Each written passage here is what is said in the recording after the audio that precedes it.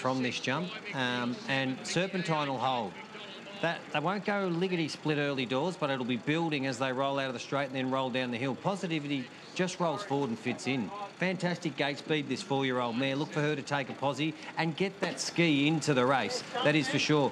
James McDonald will have to go back and then wind up down the side. You watch him make a run from the 650 because he's going to need a good lung burner if he's going to run in a Melbourne Cup, is your favourite in Francesco Guardi. Yep, looking forward to this one. Plenty of chances. Here's Matt Hill. St George's in, Francesco Guardi, James McDonald, who's won the last two editions of this, the first of them on this horse, and just fine. Geordie Childs, who put in a masterclass at Flemington on this galloper last time, about to load and sharp and smart as well.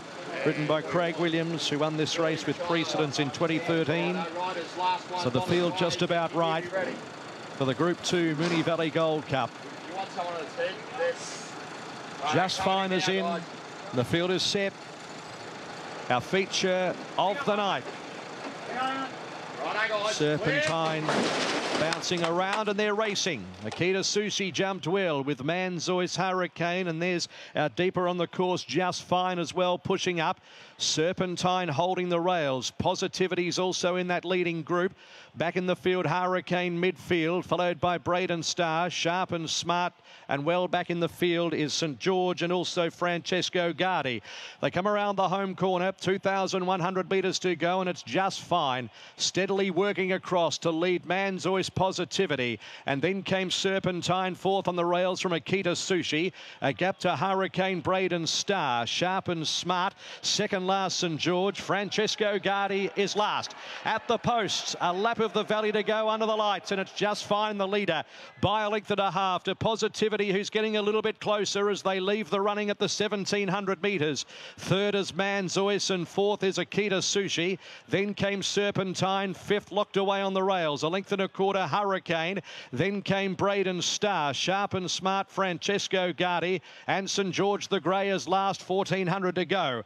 So it's just fine for Geordie Childs, rating this runner about a length and a quarter. Second is Positivity, and third is Manzoice as they swing towards the back section as Childs is just stopping and starting them at the moment. Okita Soushi, fourth one off the fence at the 1200 metres. A length and a half to Serpentine and Hurricane, a length and a quarter Braden Star. Then came Sharp and Smart Francesco Guardi, and St George is at the tail of the field, and no change in the order in the Moonee Valley Gold Cup. Just fine the leader by a length positivity off the back section at the 850. Then came Manzoice third from Okita Soushi, still on the bridle. A length and a half Serpentine and Hurricane, and then came Sharp and Smart under pressure from Braden Star at the 650. Francesco Guardi still last with St George. Just fine. 550 metres to go with Positivity about to throw down a threat. Okita Soushi's looming up on the outside as well, and the race is on in the Gold Cup at the 450.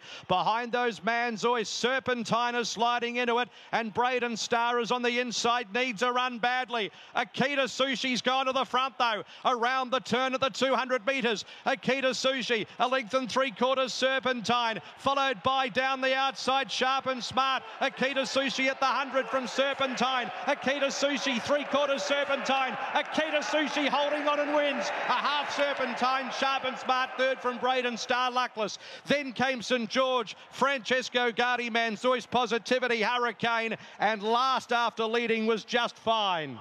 You simply cannot stop him. Ciaron Maher is in a juggernaut at the moment, and he adds the Moonee Valley Gold Cup to an unbelievable weekend last weekend where he won an Everest and a Caulfield Cup. And he does it with Okita Soushi, who he has purchased through clients. And by gee, he's finally settled into Australia in red hot form. Defeats Serpentine, who runs a slashing race for the Williams team. Okita Soushi has got the eye on the Melbourne Cup. He was order of entry about 33 Hutch. He'll go up a notch now. That was a terrific win. And there was a nibble at him uh, at longer odds as well.